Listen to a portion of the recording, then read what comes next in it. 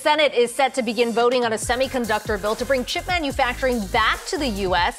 The legislation sets aside more than $50 billion in subsidies for chip makers. On the $52 billion incentive package for the semiconductor industry, they're trying to boost chip production in the United States. Numerous chip manufacturers await the bill's passage to fund expansion efforts. This is a national security imperative in order for the United States to protect itself, not just economically from the Communist Party of China, but also from a security standpoint. China is putting $150 billion into these kind of investments. Will we get it done? Yes. We need to get it done and get it to the president's desk before August comes. It's going to get to the president's desk this summer. There'll be a lot of ups and downs between now and when it does.